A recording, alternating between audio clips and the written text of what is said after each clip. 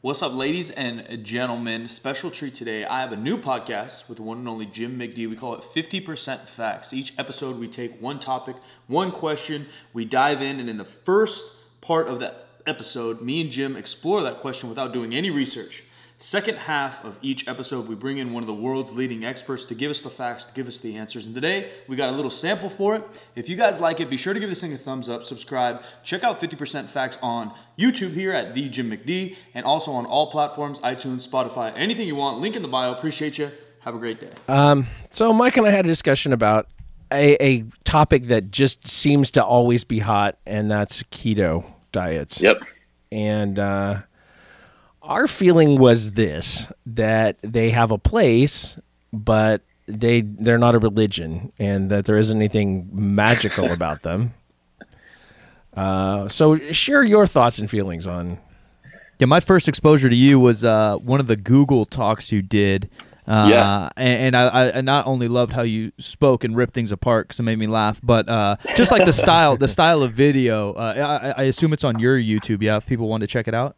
Yeah, it's. I think it's on my YouTube, or actually, I know Google has it up on on Talks at Google. Yeah, it's so Um, good. It's so good. You just sit there and he has a big whiteboard behind him. And he just and these are maybe non-fitness people. At least they're not in the industry. Yeah. And you're just taking Sure. questions, suggestions, terms, gimmicks that people have heard. You write them up, and then you just scratch them off. Not only the, uh, the list on the board, but people's minds of, of what may or may not work. Uh, and so, uh, yeah, keto. What are your thoughts? What what are maybe some applications? Um, and, and why is this stupid thing so popular over the internet right now? Well, I love that you guys called it like. I think it was Jim. I think you said it was like a religion. Um, Yeah. Like, like I feel like that's how people treat keto. Like it's a fucking religion. And and listen, if somebody's keto, they'll fucking tell you right away they're keto. Yeah. Like you know, like you see like the memes. It's like yeah, like hey, nice to meet you. My name's Jason, and I'm keto. Like I I don't like. I- I think you know if I look at it so. I, I think I make the statement before, but I remember one time on like a muscular development magazine. This was right after keto was really popular in the bodybuilding world um probably 12 13 14 years ago when like dave palumbo was really popular.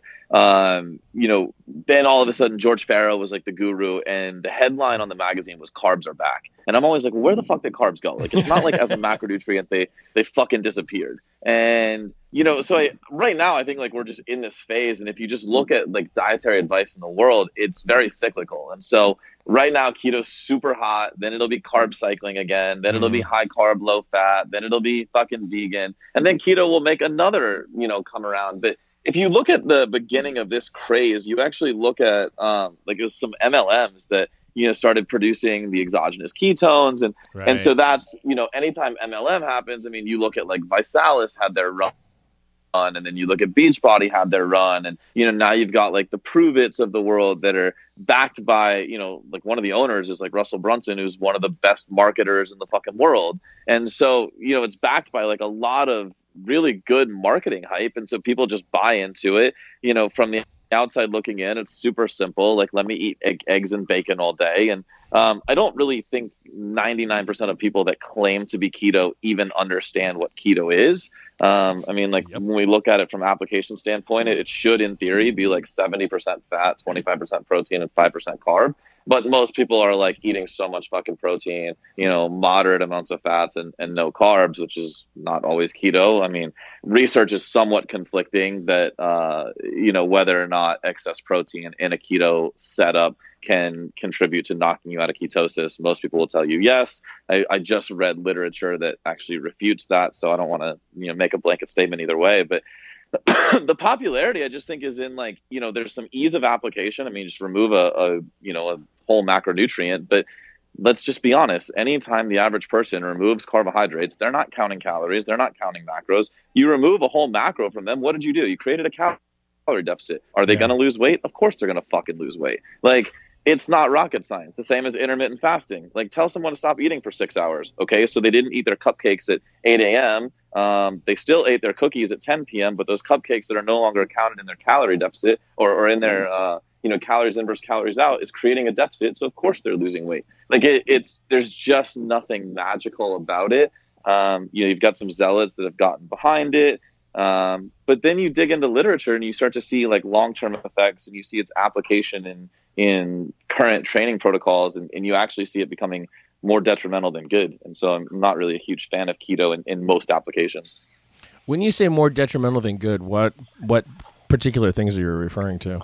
Yeah, so I mean, agree or disagree, like Western or you know, like current training modalities are at their all-time high relative to intensity. Yep. Um, right. I, I think we can all agree on that. Like in 2019, training today is is more intense uh, than most. I mean, we're seeing a lot of support in literature for more volume. Um, but you know, there's there's very high intensity training proponents, and then of course there's the CrossFit influence on the world. There's the metabolic conditioning influence on the world, and so you're just starting to see a lot of these things. Um, all of those training intensities become glycolytic, right? At some point, like higher intensity training, metabolic conditioning, it's glycolytic activity. Period. The end. Like we we can't like dispute that.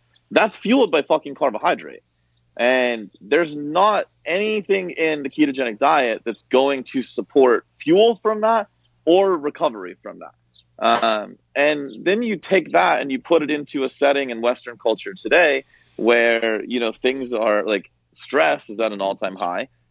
Um, you know, we're just stressed out as individuals. There's more traffic on the road. There's, uh, you know, we're sleeping less. We're over caffeinating. We are, um, you know, just as human beings, we're trying to do more. Like there's this hustle and grind culture that exists in 2019. And so you take that um, with, you know, an inability to really create a parasympathetic shift. Um, and all of a sudden you have a recipe for disaster with the ketogenic application to higher intensity modalities uh, one another topic we're going to cover in another podcast is kind of health versus performance. So I don't want to go too deep yes. into that, but yep. um, what's maybe some applications of keto? You know, I think we see as uh, I think you agree with us and have seen also like Instagram, YouTube, obviously one of the biggest influences on fitness culture right now, and a lot of these people that maybe have a lot of muscle or lift a lot of weight are now saying sure. that they eat ketogenic style diets, and I tend to agree with you. I think 90 to 99 percent of these people actually aren't eating that style diet, and they aren't doing it for a long term. But that's a different topic for a different day of what people post and what they actually live. Uh, what what are some maybe applications of keto that you might see? Is is it a health thing? Is it a weight loss thing? Is it, you know, like you said, uh, I think there's fewer applications than people think. It's not a broad stroke, but uh, there are some applications. Yeah. Yeah, I mean, I, I think if we were to look at anybody that you know again let's go back to like the whole charles poliquin statement of earn your carbohydrates well even that is you know somewhat misspoken um like if we use that as a foundation of understanding like where do carbohydrates fit in first of all carbs are a non-essential nutrient and any keto zealot will fucking tell you that right away well you don't need carbs to live it's the no one, shit, it's the one macro we don't we're need. not disputing that Yep. Listen, we get it. Like you don't need it. That doesn't mean it's not optimal, and it doesn't mean you also don't need the fucking resistance train in your life. Yet you can continue to do it. Yeah. So let's not go down. You don't need to shave your body head to toe and tan either. Right. Exactly. So um, there's there's a lot of things that don't need to be done yet. You continue to do them, so it's a horrible argument, right? Um, but if we if we look at that as like a base statement and we say, okay, who actually who needs carbohydrates. So anybody under, you know, undertaking glycolytic activity, anybody that wants performance enhancement, um, you know, anybody looking to, you know, for those things. Then we look at people that are not training, people that just want to live longer. Well, research supports the fact that a ketogenic diet would would be helpful, right? There's anti-inflammatory benefits that have been shown from it. Um, you know, we know that that uh, inflammation is the one biomarker linked directly to longevity. Um, so anytime you're trying to control inflammation, uh, a keto diet is going to work great. Um, you know anybody that that uh you maybe there's some, some pre-diabetes going on um, a keto diet's a great start. Uh, now i will say my stance on that has changed. Um, i used to say like that would be the place you definitely go. I think there's a short-term application there. Um, i think longer term you should be working to actually build insulin sensitivity to tolerate carbohydrates. Um, some people will dispute me on that but I, I can back that one up pretty good um, and and you know, again, like now I look at I literally right before I talked to you guys, I was on a podcast with a guy that was telling me in his his off season of bodybuilding, he's eating seven, eight hundred grams of carbs a day. Um, you know, I would want to be testing like blood glucose there and, and making sure that you know while you might need that to make your quote unquote gains, uh, you know, at some point you have to be looking at your insulin sensitivity and your blood glucose. And so, you know, a brief ketogenic standpoint, uh, brief ketogenic phase to bring that insulin sensitivity back up, bring the blood glucose down, um, would be advisable. So really, those are those are the main applications. The one that I want to just straight up fucking bash is ketogenic in aerobic sports. Mm. Um, I'm so fucking tired of hearing the aerobic people be like keto this, keto that. Like when you understand physiology at a certain level, uh, yes, aerobic exercise is pri- primarily fueled by fats. And so anybody that claims to be completely aerobic can get away on a ketogenic diet. That being said, aerobic athletes, like the key word there is athlete, not aerobic, um, at some point they are going to hit threshold, um, meaning whether it's anaerobic threshold or in their case, aerobic threshold. Aerobic threshold is primarily fueled almost solely by carbohydrate. And so when that carbohydrate's not available, now all of a sudden you're starting to have a massive cortisol response. Well, initially that cortisol response is great, which is why a lot of these aerobic athletes see success short term on the ketogenic diet, but long term they begin failing and they begin getting worse. Well, prolonged like over like having an abundance of, of cortisol elevation is only going to smash your HPA axis, which is extremely difficult to recover from. So you know, these athletes are highly misinformed, saying that they're only using fat for fuel. Well, they might be predominantly in their aerobic setting, but as soon as you're competing, you're in a setting where you need carbohydrate. Like it's, you know, and, and there's so many studies that show that. Like you look at, uh, like Ben Greenfield, when he did Volek's 90% fat keto diet, he he did really well in the Ironman, but then he fucking tested his hormone levels. They were complete shit. Mm. Uh, so, you know, you start to look at like what are the real effects. Like a lot of people are using keto in like an n equals one situation and they're not showing prolonged application which is really where the real research should be should be done. And like you said like uh, if carbs aren't hindering your performance and they may add to your performance a little bit why wouldn't you get the extra calories in? Plus they fucking yeah, taste good so that, well, just like logically you break like, down who the fuck yeah who doesn't want a carbohydrate the rest of their life? Yeah, yeah. like seriously I cannot. I, I, will never meet one person that it's like, listen, that piece of cake doesn't look good. Of course it does. or you're a lying, like, or you're a lying bastard. You know, um, like either one is okay if that's what you want to do with your life. But at the end of the day, at some point, most people are going to desire a carbohydrate.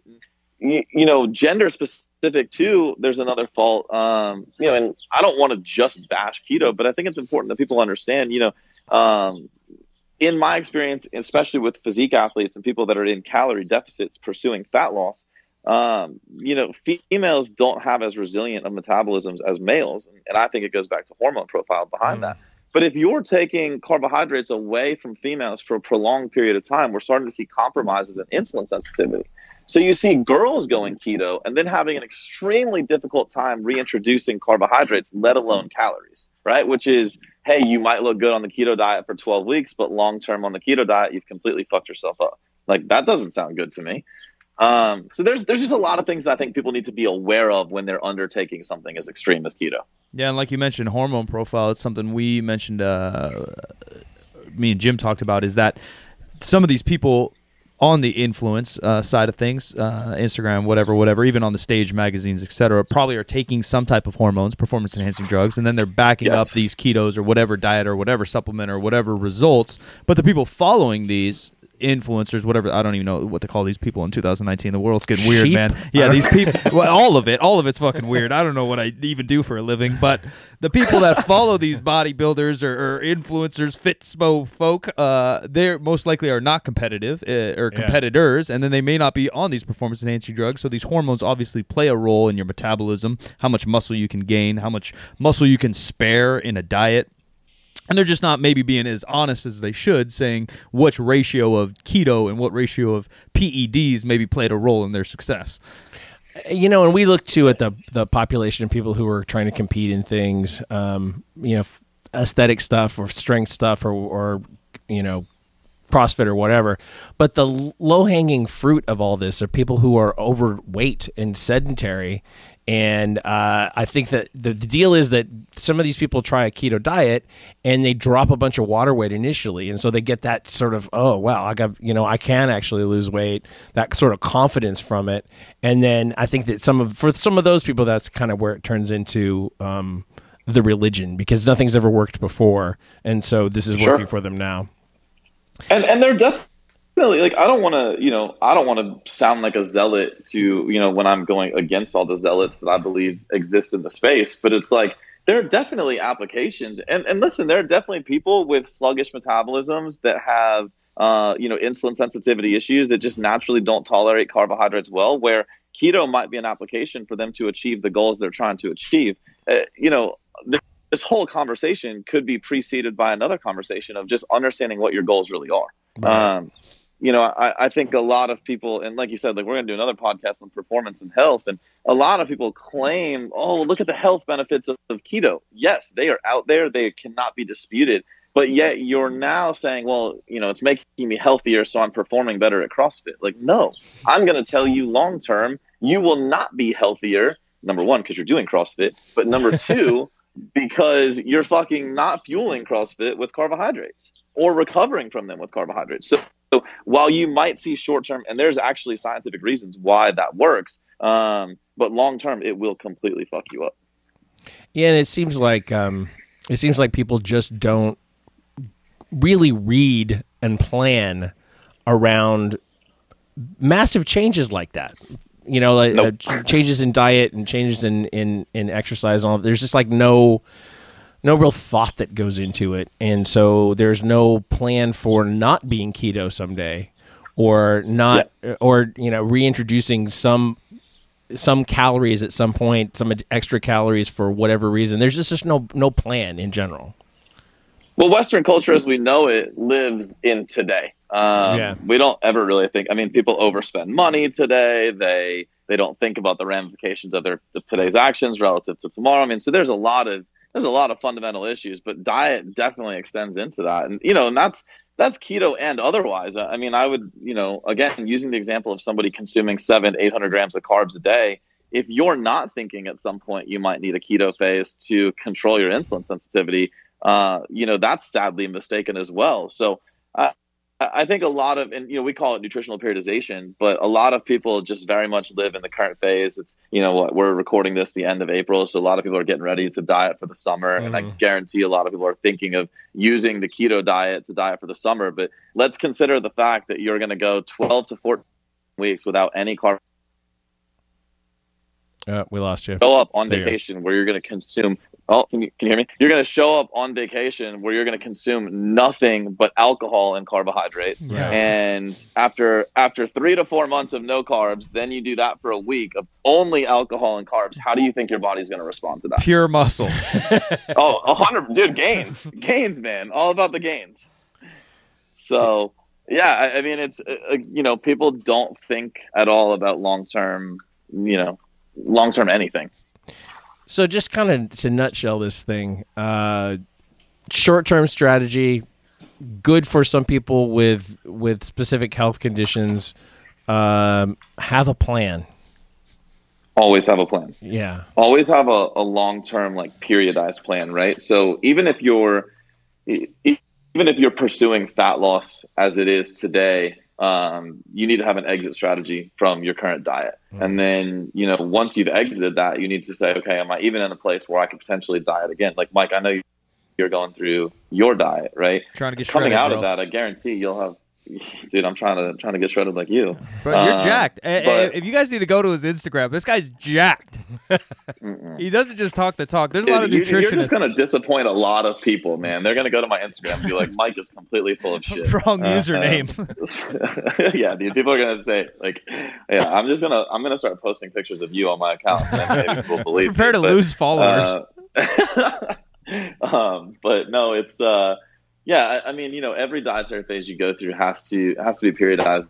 And we talk about this in the context of literally everybody we work with, whether you're a professional athlete, whether you're a weekend warrior wanting to get lean, whether you want to live forever. There, there has to be some sort of flow and some sort of evolution to what you're doing. Um, and, and if that's not built into your plan, then you need to talk to somebody that understands that concept. Yeah, I think advice. I mean, obviously, if you have the money, always getting some kind of coach, and it, it is difficult. No, again, another discussion for another day to find a, a qualified or, or good coach. But Yeah. any kind of guidance is often better than uh, because you you have weird discussions with yourself. I even do. I've been in this thing for 12 years, and I still think like, shit, man, maybe I should do some Yep. keto. You know, like everyone's getting results on keto. Fuck.